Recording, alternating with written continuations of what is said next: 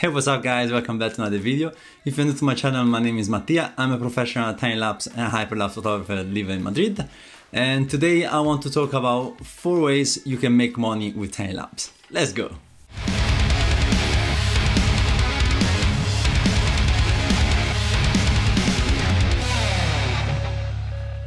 So shooting time-lapse is definitely a lot of fun, but trying to sell them and making money, well, that's another story. Unfortunately, the reality is that uh, you need to work pretty hard to make um, a living shooting time-lapse. However, there are a few ways you can start making money from this. Number one, sell on stock sites. If you have been shooting time lapse for some times, you might have a good quantity just sitting in a hard drive. So instead of collecting dust, upload them in stock like uh, Blackbox, or Pond5 or Dissolve.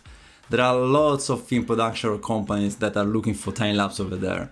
Unfortunately nowadays, you won't get a lot of money from stock. Sometimes a video can be sold as low as $1 and also the cut from stock agency can be between 40% to 80%. But still, it can be an excellent way to have an extra side income each month. And once you upload them, they will literally make money while you sleep. Number two is licensing direct to clients. This can be very rewarding and definitely very lucrative sometimes, depending to who you're licensing your video. Also, this is not very easy, as there are ton of time-lapse and, and, video content out there. In my opinion, the best way to get this kind of work is to put constantly your time-lapse online, do personal project about a particular location or a theme. If the work you do is good, people will see it and start contacting you to get a piece of it or to use it on TV background on the project. And the best part of lesson directed to client is that you will get 100% of the sale instead of uh, the 30% that you get with stock. And number three is uh, work on commission. This has been my main way to make a living from time lapse since I started in 2012. And the best thing for me about uh, working on commission is to travel to new places and get paid for that. So sometimes it can be a cool place like uh, San Francisco, Canary Islands or Istanbul or other time it could be just, uh, you know, a warehouse or a border event, you never know.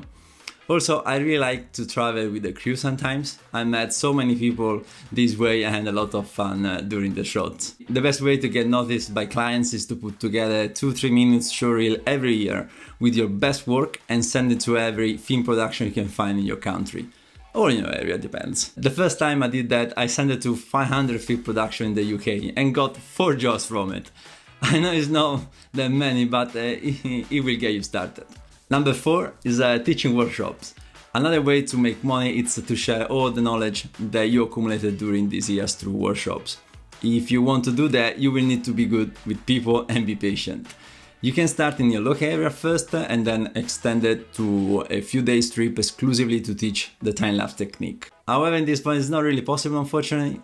So another way is to do workshop online via Skype or Zoom and teach post-production, which I do if you're interested. And that's it. These are four ways to make money with time-lapse. Of course, the more income stream you have, the better because if sometimes commission work drops like happened to me in the past two years, I could still make money from stock or licensing.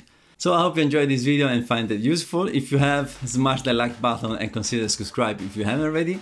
And I'll see you in the next one. Ciao ciao!